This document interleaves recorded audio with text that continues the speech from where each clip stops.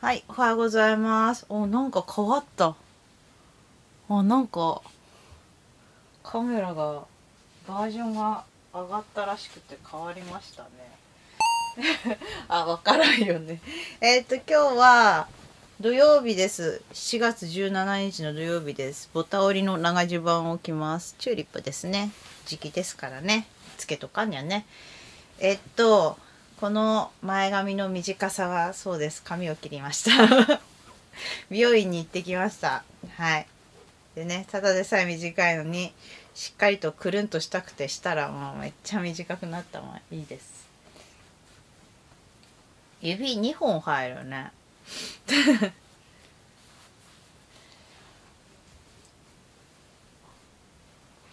思えば私がパッツンだパッツンじゃない時代の方が短いかもしれませんね。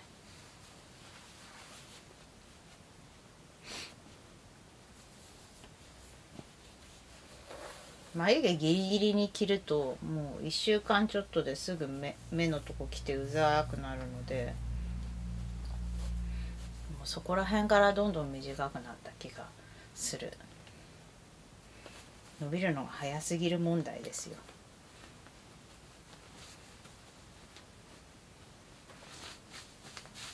だね髪が細すぎてえっと中途半端にちょっと薄髪とかにしたらもうなんか産毛みたいになるから それも嫌でっていうのもあってこんなになってますね。はい。で今日はえっと雨なんですけどちょっと寒いんですけれどもはいえっとボタ折り着たので遠州木綿の白いの着てちょっとね春っぽく春っぽくなりたい私。よいしょ。春っぽくなりたい私でこちら着ます。はい。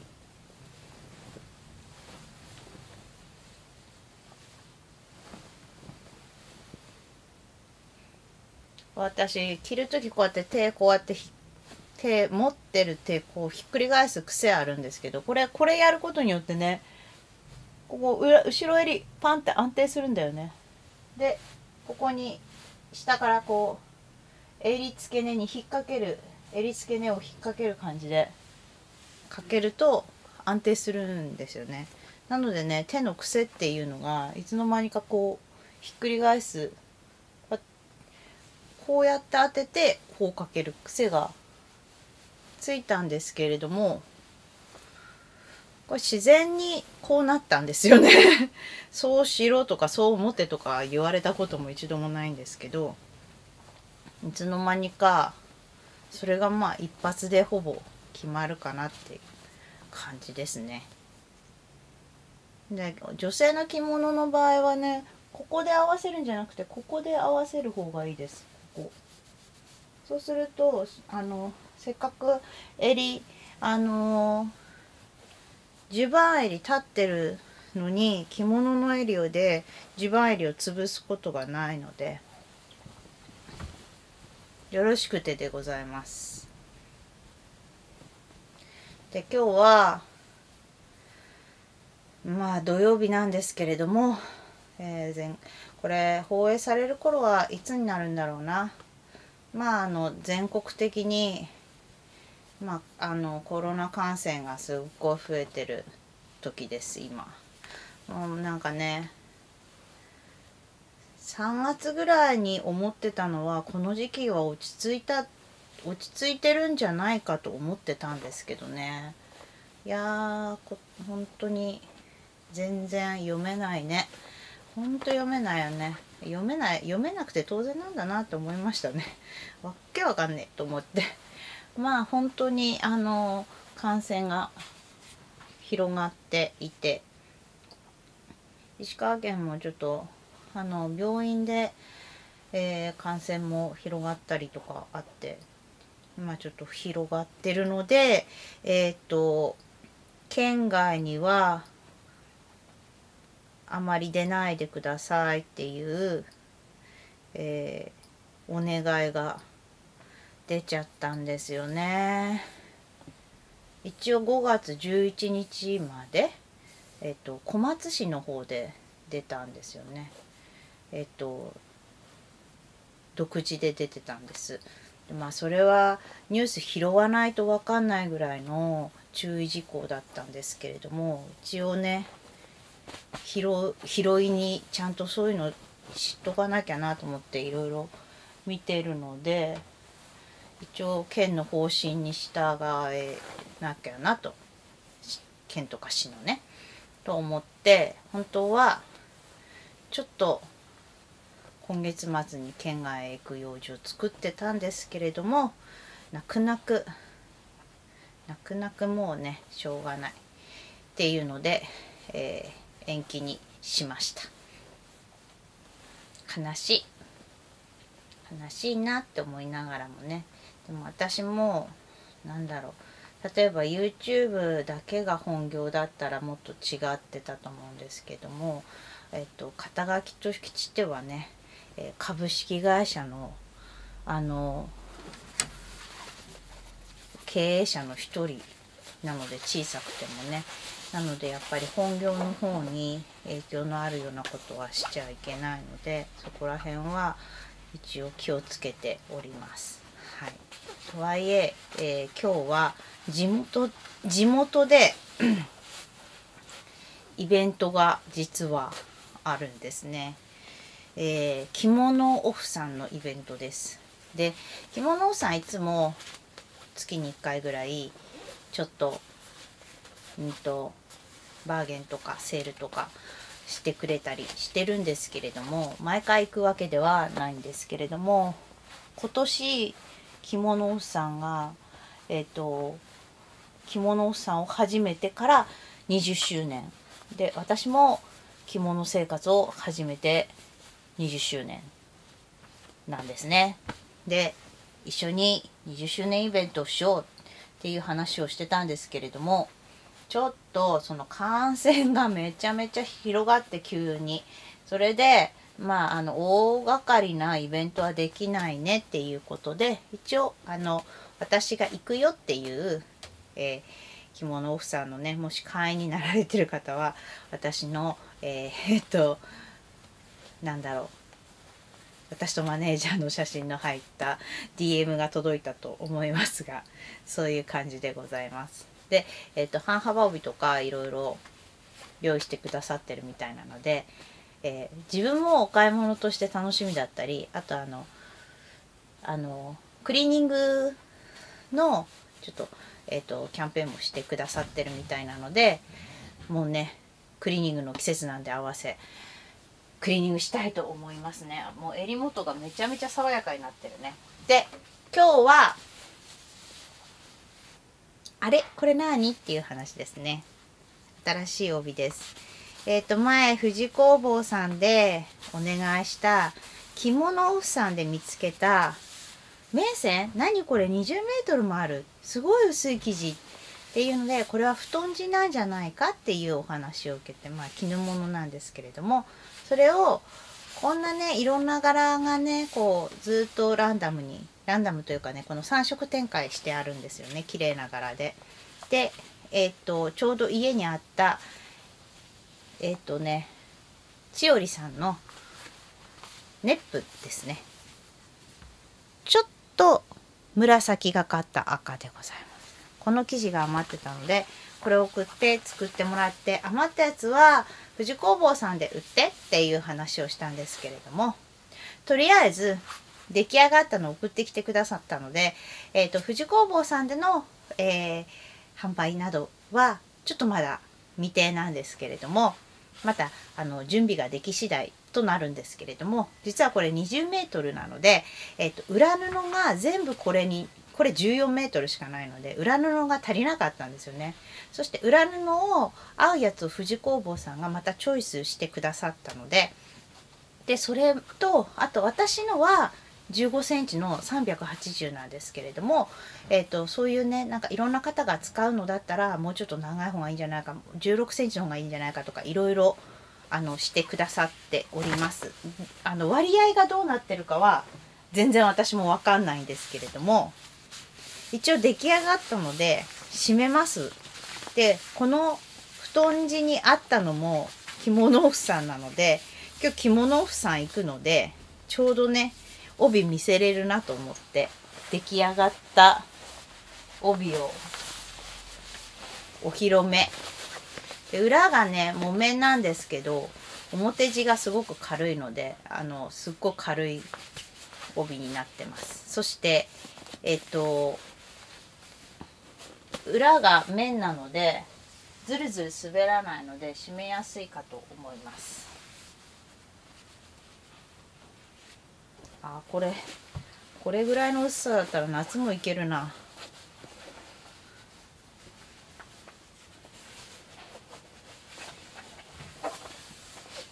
何本できたのかな全部で。えっ、とこういう感じの帯が全部で何本かできていらっしゃいまして。でそれを藤工房さんの方で売ってやっていう話をしてたんで。どういう風に売るのかな？どういう風にするのかな？そこら辺はもうねなるべく藤工房さんと私の緩い関係性で楽しくできたらそしてこうみんなも楽しくなったらいいかなと思ってるのでまたちょっと待っとってね。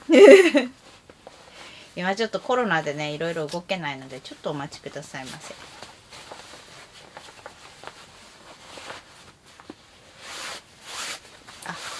スルスルといいですね。滑りも良くて。ああああかかわいいな。軽い。かわいい。いやノスタルジック。超かわいい。いややばい。これはかかわいい。鼻に毛がついてる。超楽しい。ちょっとこの半幅好きさんのみんなはこのやっぱねこなんだろうこの昔っぽい着物好きだよね。リサイクルとかアンティークのね。その中でこのノスタルジックな感じで半幅帯で新品になるってちょっとどいねって感じよね。どいねってやつよ。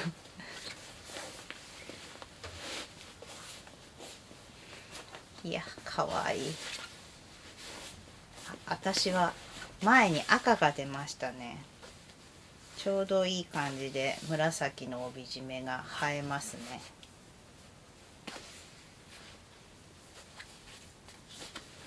多分3色赤紫このクリーム色と3色になってるのでだいたい2色ぐらいが出てくるかな腹に。で1色あの背中はまあ3色出るかなって感じかな。もうちょっとこっちかな。もうちょっとこっちかな。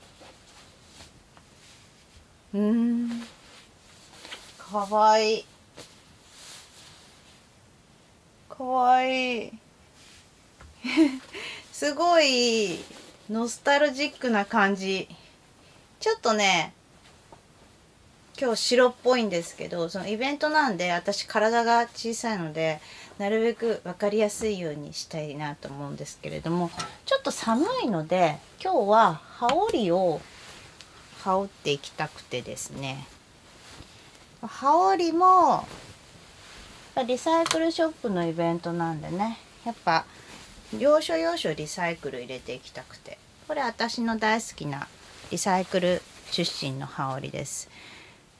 あのフリも普通のフリで立体的な矢羽柄で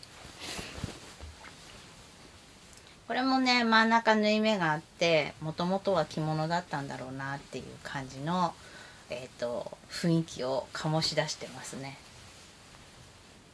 であの膝が後ろは膝裏隠れるぐらい前は膝がちょっと出るぐらいのえっ、ー、とやや長羽織ですね。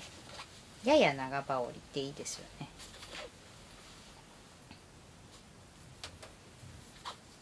まあもちろん帯締めあのこの羽織紐もリサイクルです。はい。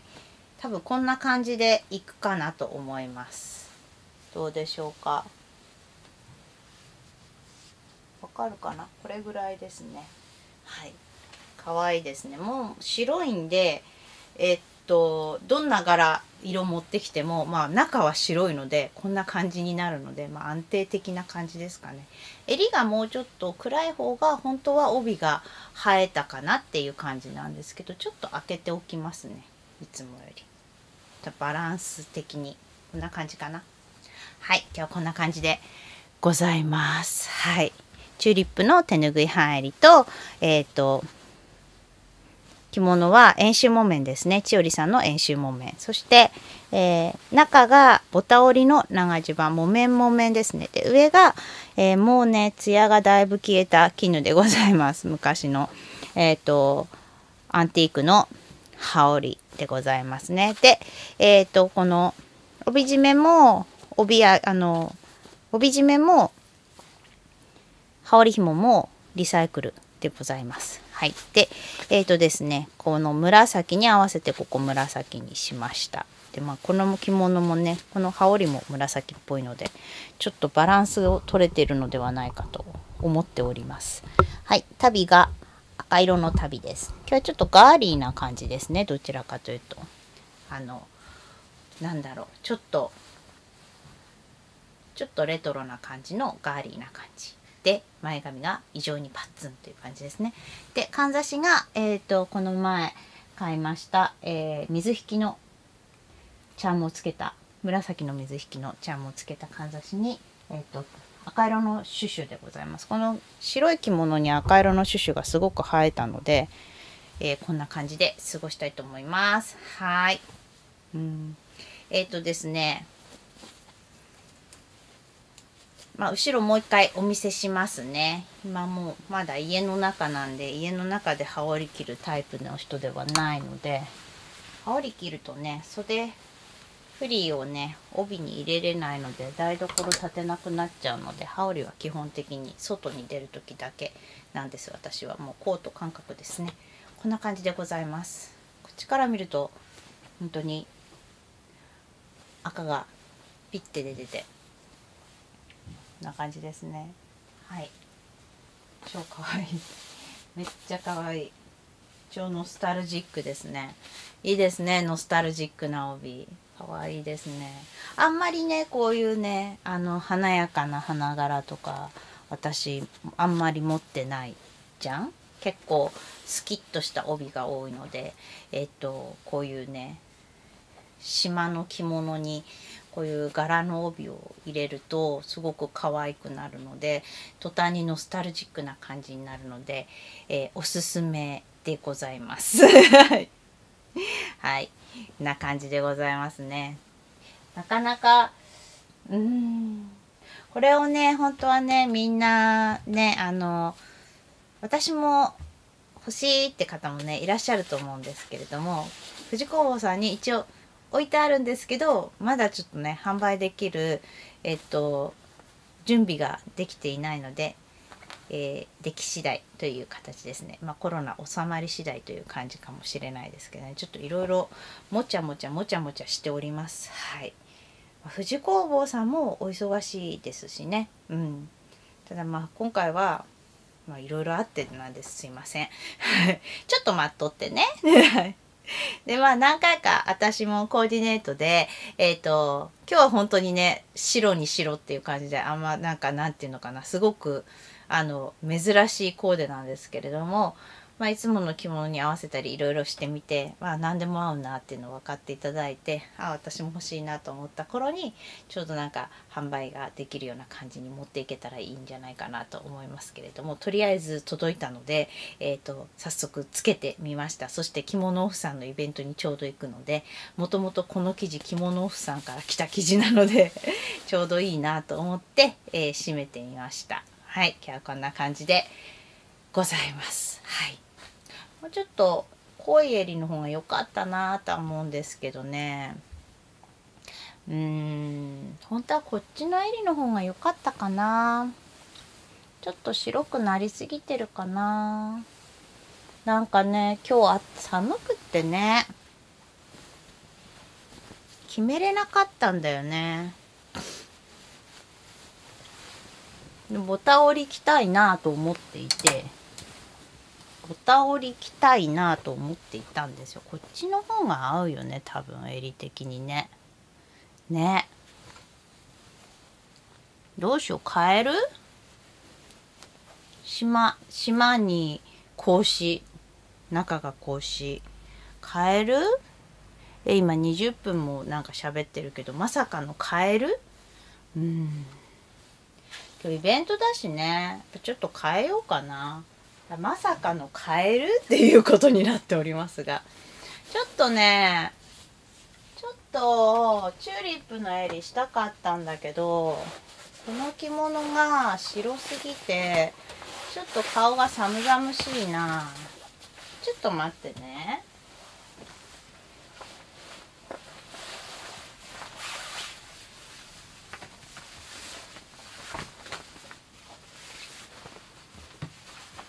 母さん支度に手こずってるわみたい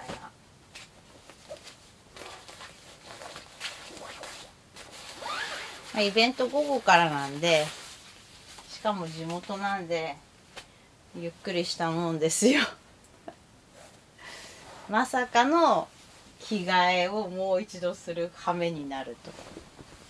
なんか襟が合わせた時もちょっと白すぎなんじゃね？って思いながらいたんですけどやっぱ白飛びがひどいですね。青白だからかな。ちょっと待ってね。これ明日着るねきっと。こっちにするわ。絶対こっちの方が合う。年に何回かこういうことありますね。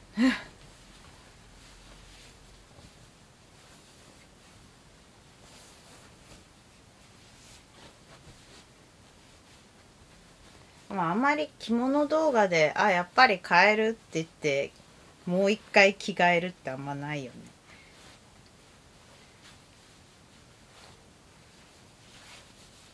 まあ着替えることは大したことじゃないんですよね。一日中なんかちょっと襟違ったなって思うのが嫌。柄襟って大事よね。なんかね4月終わる前にもうチューリップいっぱい着とかなきゃなと思ってなるべくチューリップチューリップ乾いたらチューリップって思ってたんだけどちょっと違ったね。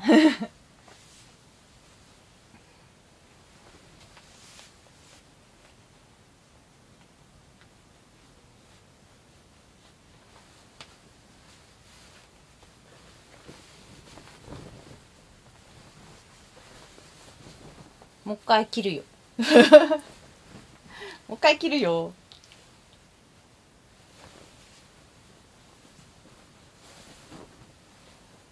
こっちの方がいいね。じゃあおでこで出しすぎたかな今日セットで。そういう問題でもないんだけどね。こっちの方が落ち着くからやっぱり今日はせっかく帯の初お披露目だから帯がもっとこうスキッと合うような色にしたい。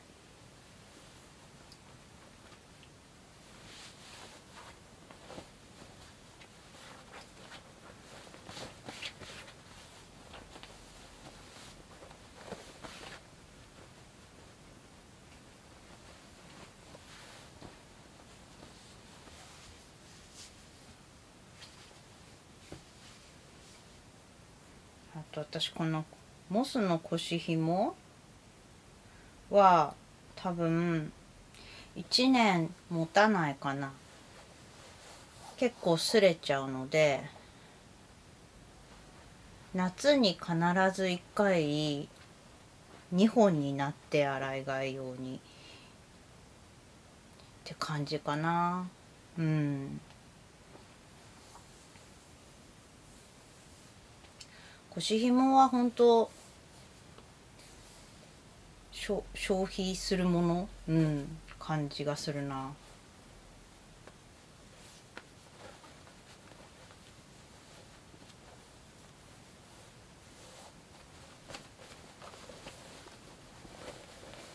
まあねなんかいろんな高い腰紐丸い腰紐いろいろ私も使ったんですけど証券のシュオシュオっとした滑らないよっていう腰紐とかも使ったんですけど木綿とか綿麻の着物に関しては、えーと、薄薄くて十分あの止まるので面で止まるので逆に立体的な丸いやつとかシワシワっとなったやつのあの証券の高いやつよりもえっと面でピタッと止まるモスのもう昔からある腰紐が一番この下前のとこがぐにょぐにょにならないかなって思います。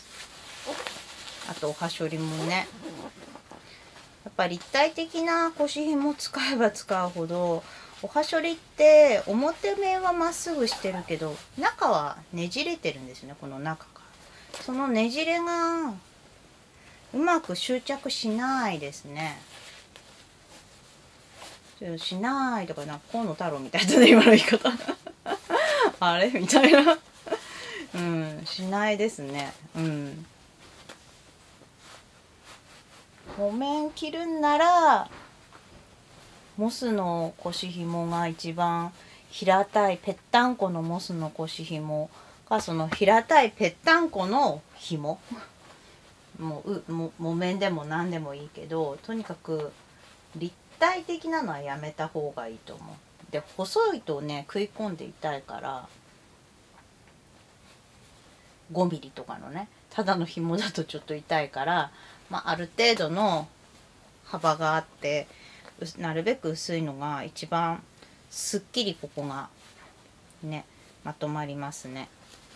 特に腰紐の位置が低い方はここら辺の方はね腰紐の当たりが帯の下に出てしまうので私は帯のちょうど真下に隠れるぐらいに今マイサイズになってからほとんどウエストウエストより指1本低いぐらいが腰紐位置に収まってます。なんだけどえっと若い時は腰紐低い方が楽で結構ここだったんですよね。なのであの本当それも人それぞれ好きなにすればいいんですけど腰紐がボコッと出るとすごく嫌な気分になると思うので普通の薄い腰紐で十分いいですよと思いますね。なんか証券とかの合わせの本当に下が重い滑るやつとかだとなんかもっと違う腰紐でも確かにいいのかなと思うんだけど、まあ、ウールもちょっと滑りやすいからウールもいいのかなって思うんだけど木綿とか綿麻とか浴衣とかねそういうのに関しては本当シンプルにモスの腰紐で十分洗ってもすぐ乾くし汗かいてもね。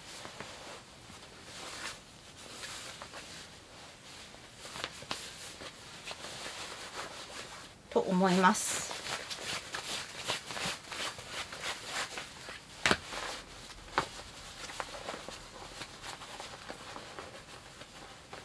紐が変わると見丈も変わりますからね。紐が太い紐使ってる方はその分見丈変わりますし。紐細ければ見丈もちょっといらなくなるので逆に見丈長い着物で困ってたら腰紐太くしたりするだけでもおはしょりの長さ調整できるんでそこら辺もちょっと考えてみたら楽になる方も出るのではっていう感じですね。あやっぱこっちの方がいいね。うん。あかわいい。わこの緑がここのこの緑がかわいいね。かわいいね。なんかこうもわんとした感じのノスタルジックな感じがいいよね。よしこれでイベント行ってこよう。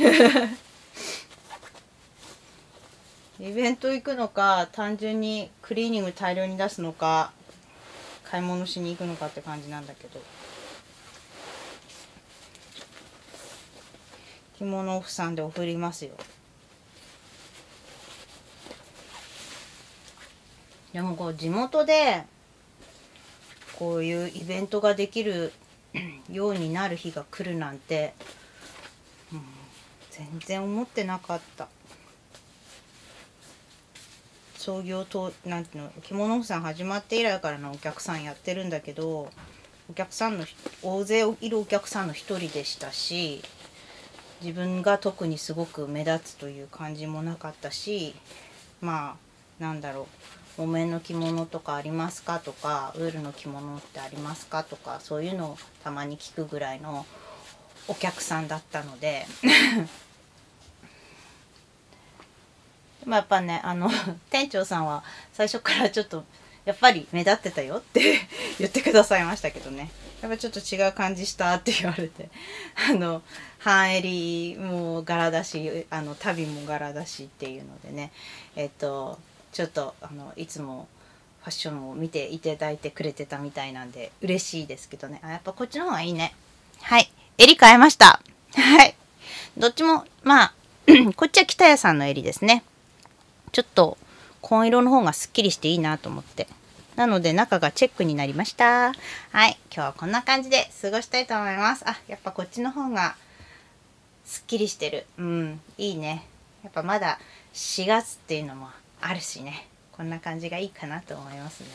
ちょっと黒襟ってかっこいいから黒っぽい襟ってねかっこいいから白系の着物だとこう濃い襟が何歳になっても合わせやすいのでなかなかいいのではないかと思います。はい。帯が超かわいいということでこんな感じで過ごしたいと思います。えっ、ー、とまあイベントといっても本当にみんなあの行ってちょっとみんなとお話ししてぐらいなので大したあれじゃないっていうあれなんですけれどもでも私にとってはすごく嬉しい記念するすべき日でございます。でまあ着物オフさんともお話ししてたんですけど今コロナがねすごくひどくなったりちょっと楽になったりっていうなんか繰り返しをしているのでえっとイベント恒例だけじゃなくてまた落ち着いたらまたやっていけたらなと思います。近くですしね。うん。えっといろんなところからもちょこちょこまあすごいいっぱいじゃないけどあの動画やってるのでえっとイベントしてくれませんかっていうお声かけを去年も去年はすごく多かったですね。いただいたことはあったんですけれどもえっと容易にそういう何て言うのかなあの会社さんとあの提携するっていうことは私はまあしないんですけれどもあのするなら着物婦さんでしたいってずっと思ってたので。だって私を育ててくれたし私をあの何て言うのかな陰でずっと支えていてくれたのは着物オフさんとジャムル K さんだったし最初の最初に着物オフさんに出会わなかったら私はコートをゲットできなかった。ウールのコート。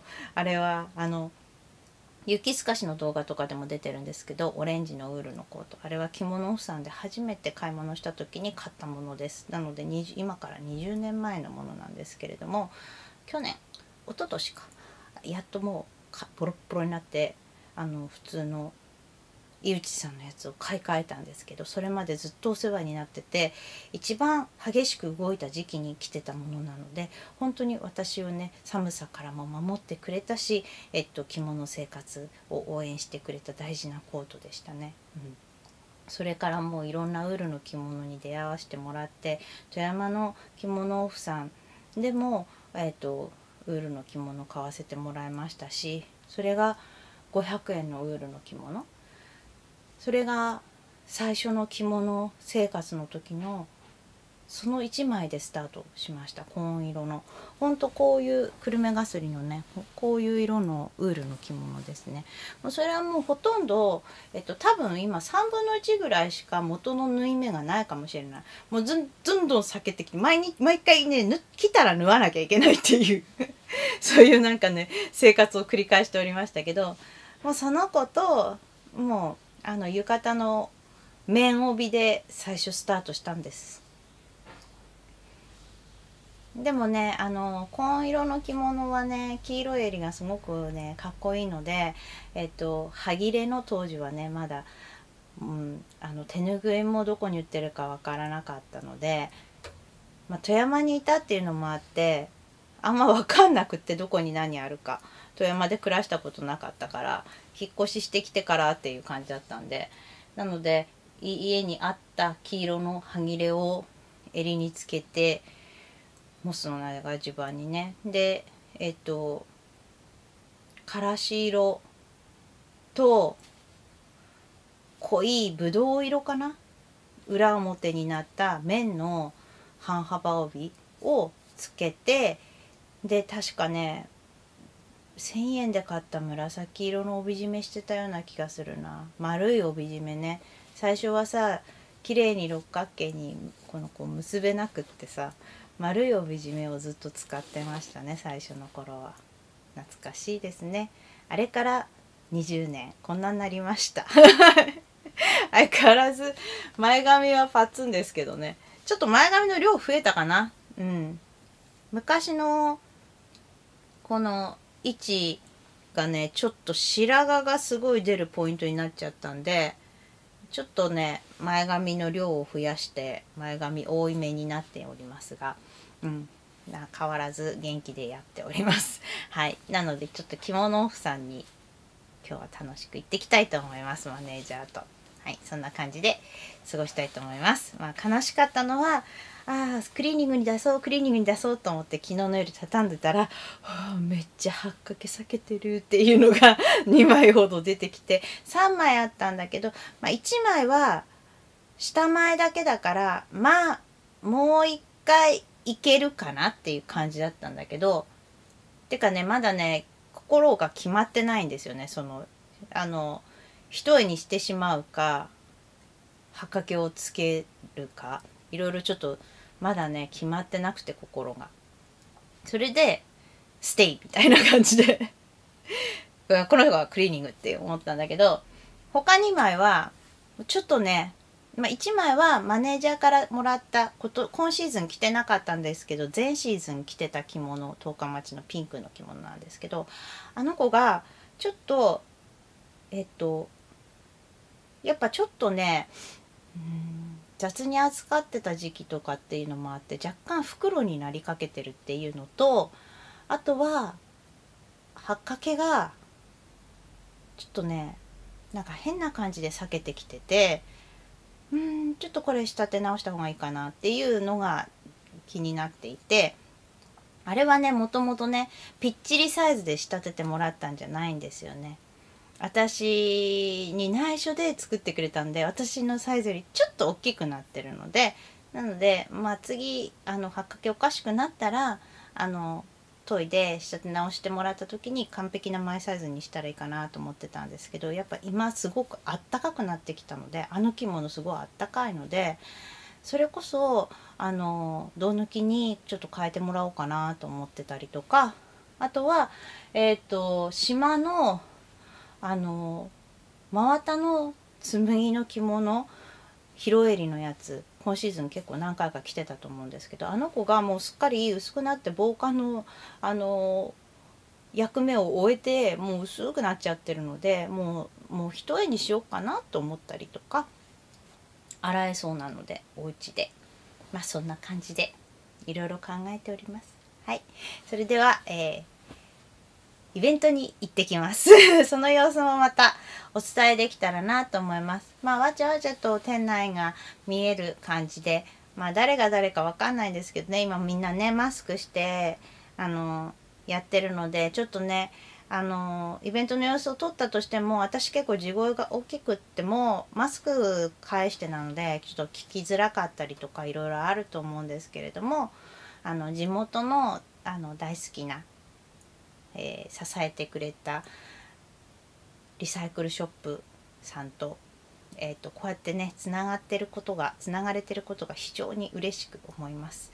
もしコロナがまたね落ち着いたら県外の皆様も本当にいいお店なので是非来てもらえたらなと思います。お振ってもらえたら嬉しいなと思います。はいそんな感じで過ごしたいと思います。それでは皆様良い一日を。